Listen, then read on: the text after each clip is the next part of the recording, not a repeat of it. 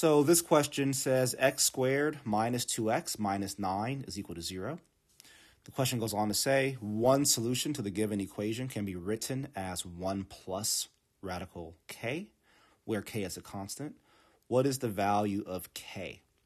All right, so I am familiar with seeing this structure, this format.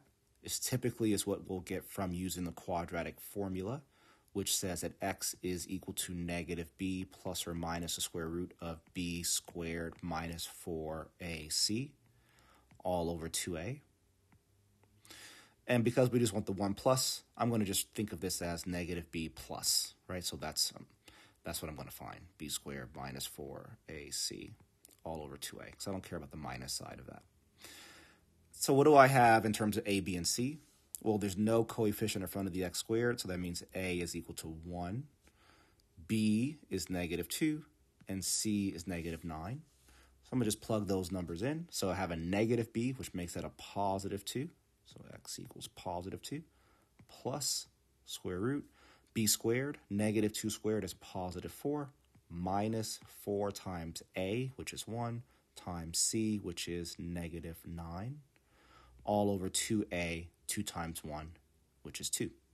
So I have x is equal to 2 plus the square root, I'm sorry, just the plus, the square root of 4 times, 4 times 1 is 4, times 9 is 36, plus 4 is 40, so it becomes square root of 40, all over 2. And I can simplify this into 2 plus 2 root 10.